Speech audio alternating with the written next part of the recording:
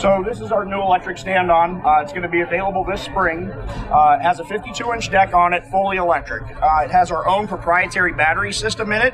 So there's eight.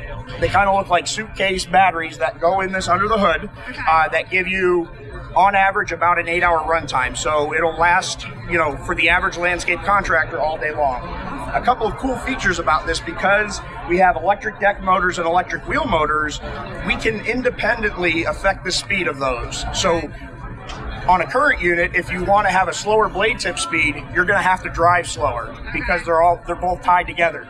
Not the case here. We can adjust our blade tip speed independent of our traction speed.